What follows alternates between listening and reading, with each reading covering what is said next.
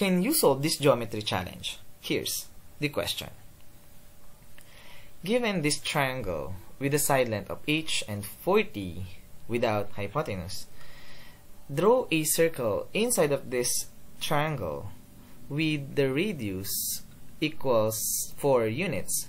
Then the question is what is the measure of this side length h? Now you can pause this video if you want to give this problem a try.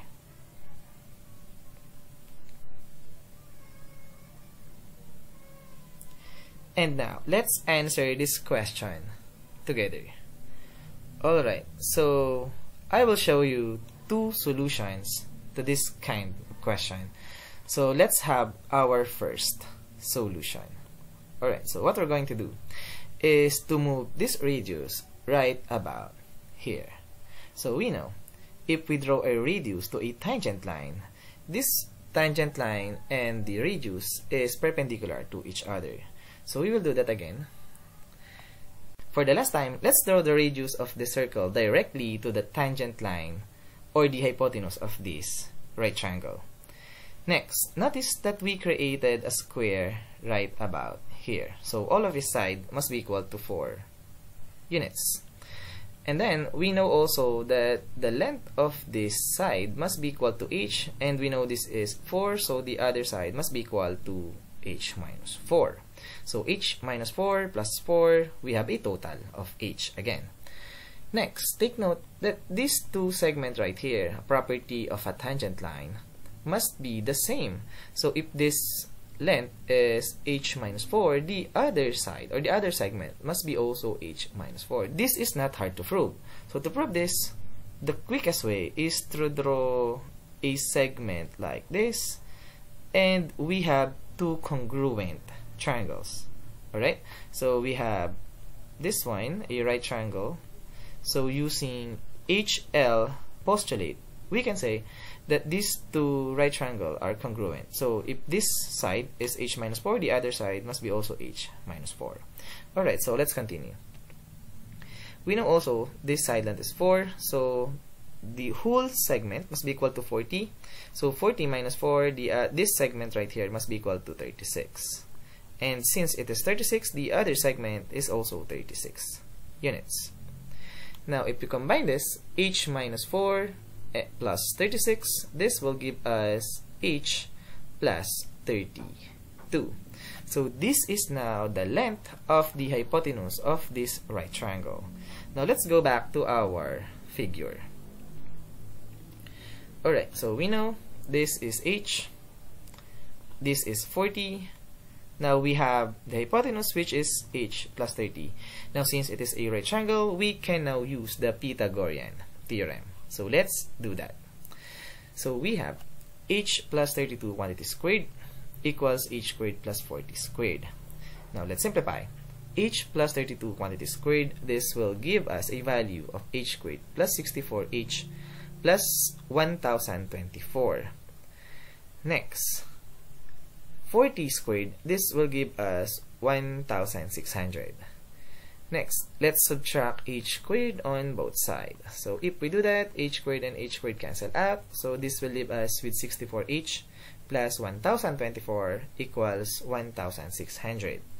Now subtract 1024 on both sides. This will result to 64h equals 576. Now to solve for the value of h, let's divide both sides by 64 and 576 over 64 this will give us a value of 9 so our first solution using Pythagorean theorem we get that the value of h must be equal to 9 now this is our first method using the Pythagorean theorem. Now let's begin with our second solution so let's start so to answer this question eh, is what we're going to do is to use the area of this figure. Before we do that, take note that all of these segments are the radius of the circle, meaning all of these measures is 4 units. Now, from the center of the circle, what we're going to do is to connect all the vertices of this triangle, like this. Now, we created three more triangles. We have this one, this one, and the last one. So now, we will use the concept of the area of this triangle. Now, the total area of this triangle must be equal to the area of the first triangle. And let's call this the first triangle. Plus the area of the second triangle. And let's call this triangle the second triangle. Plus the area of the third triangle. And let's call this the bottom triangle as the third triangle. So let's apply this. So we know that the area of the triangle must be equal to 1 half times base times height. Now the question is, what is the total area of this triangle or the area of the big triangle?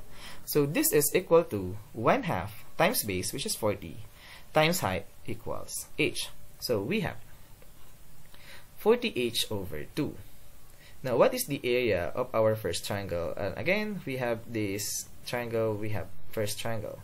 So the base is h, the height is 4, and the area of this triangle must be equal to 4h over 2 or 1 half base times height.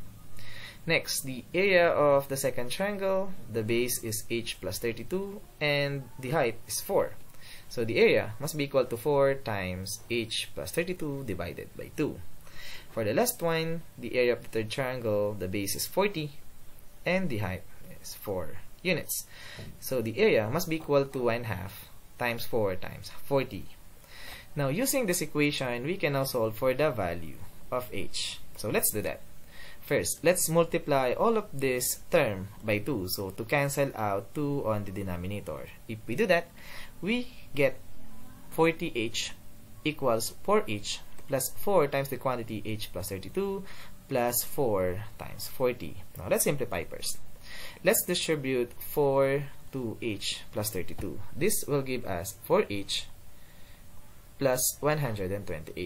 Next, 4 times 40, this will give us 160. Now, let's combine like terms. 4h plus 4h, this will give us 8h. And then 128 plus 160, this will give us 288. Next, subtract 8h on both sides. So this will give us 32h equals 288 divide both sides by 32 to get the value of h 288 divided by 32 and of course this will give us a value of 9 this is what we get a while ago.